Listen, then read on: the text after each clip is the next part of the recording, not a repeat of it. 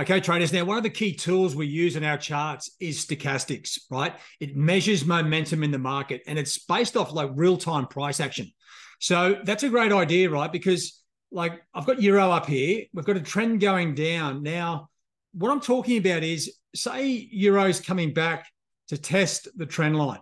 Now, at this point, wouldn't it be great to know if what momentum was doing, right? If it was surging, well, then you wouldn't be looking to sell below the trend line, right? At the same time, if momentum was stalling at this level, well, you'd be comfortable to put a sell order on and get back into that trend. And that's what stochastics does for us. It's not the overriding trade uh, mechanism, but it is a great, uh, I'd call it a probability enhancer, right? So now let me just sort of show you how this works, okay? Because you you, you can overuse it, you can over um, give it greater weighting than it needs to be. It's just a tool to measure momentum and confirms whether the trading opportunity is a good one or not. Now, if I just widen out my chart to like the, it's called the display best fit, right? Now, if I just pull back the data, okay, now just have a look at this trend line here, right? This is the same trend line. It's coming back up to test the trend line.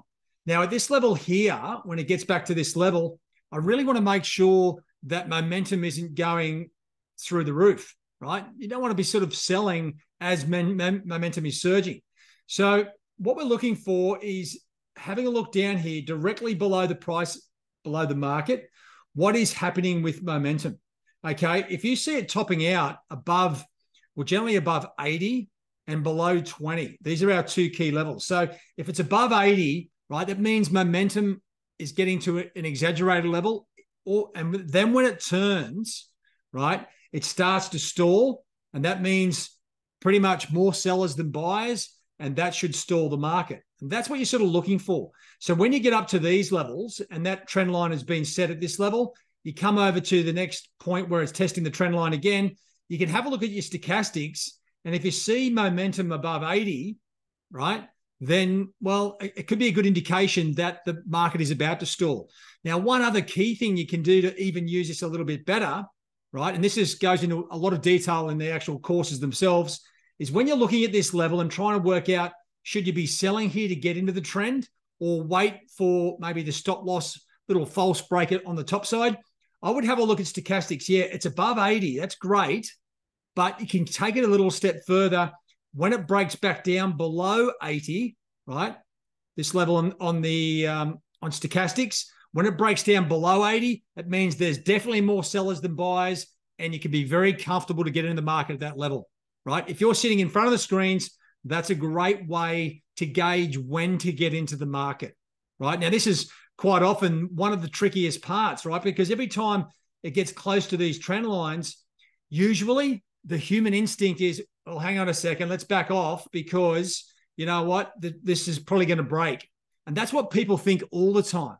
But I'm telling you, over many, many years, the trend is your friend. Now, of course, there are always short term breaks of the trend line. Okay. But, but then usually the trend kicks back into gear. Your trade plan needs to cover the potential for a short term break in the market, right? That's why we're trying to get into the market close to these trend lines so you can have a low risk entry with probability going your way. If it's overbought, then and you're waiting for it to come back down, this could be a great trigger for you to put that trade on in play, be confident, and then let the trade play out.